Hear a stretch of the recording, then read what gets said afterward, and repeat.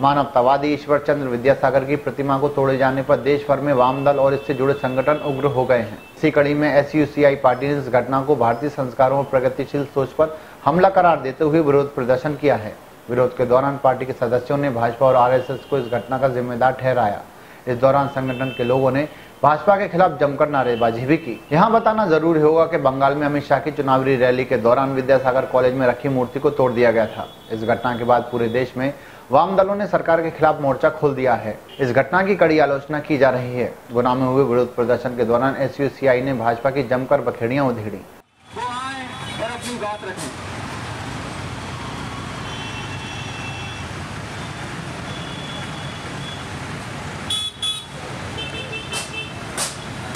कलकत्ता के अंदर हुआ दोनों राजनीतिक दलों की झड़प के दौरान भाजपा आरएसएस के लोगों द्वारा ईश्वर चंद्र विद्यासागर के द्वारा स्थापित कॉलेज के अंदर जो मूर्ति रखी थी ईश्वर चंद्र विद्यासागर की, उसको तोड़ दिया गया।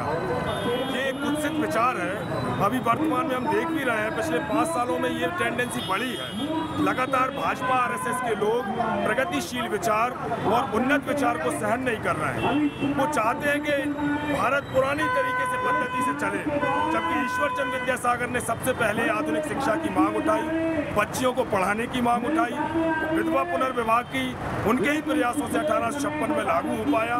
ये सारा योगदान ईश्वर चंद्र विद्यासागर का है, लेकिन ये मूर्ति तोड़ी गई। इसका मतलब ये उनके प्रति एक घृणा को दिखाता है और भाजपा आरएसएस की सोच को दर्शाता है। हम इसके खिलाफ हैं, पूरे देश भर में हम इसका प्रदर्शन कर रहे हैं। विरोध कर रहे हैं।